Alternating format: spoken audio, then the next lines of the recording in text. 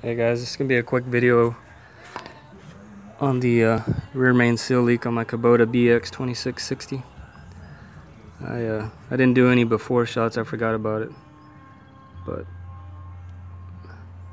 here's the new seal that I put in already. It was leaking. It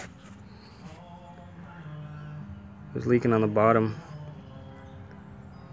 Pretty good as you can see. I already cleaned it up a little bit, but it was leaking. So I got it all apart, cleaned up, got some new gaskets, throw it back on and then put it back together. It's really not that hard of a job. Actually, I was kind of, I was dreading it, but it's not that bad. Uh, flywheel comes off real easy. It's four bolts to hold the,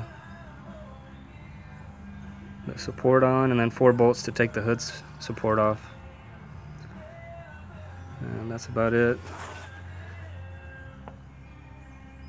You have any questions, just post them up and I'll answer them if you ever have to do this job. Uh, thanks for watching.